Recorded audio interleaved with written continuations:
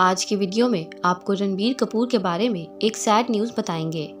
Video शुरू करने से पहले मेरे चैनल को सब्सक्राइब कर लें और बेल आइकन पर क्लिक कर दें।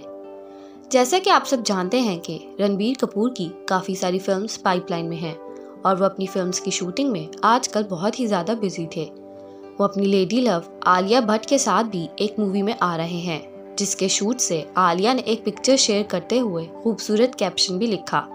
आलिया ने लिखा था कि it's a blessing to be on this journey and these magical boys just make everything और ये तो अभी सिर्फ़ बिगनिंग है।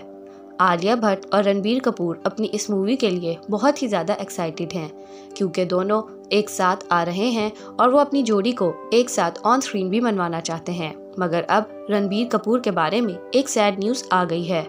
रिपोर्ट्स के मुताबिक रणबीर कपूर को कोरोना वायरस हो गया है। और वो अपने घर में इस वक्त क्वारंटीन हैं और इस बीमारी से लड़ रहे हैं। रणबीर की लेडी लव आलिया उनको लेकर काफ़ी परेशान हैं।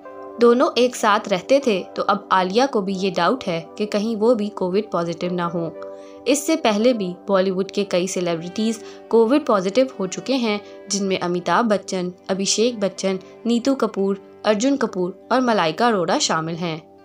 आपको रणबीर और आलिया के बारे में ये सब जानकर कैसा लगा, हमें कमेंट्स में बताना ना भूलिएगा।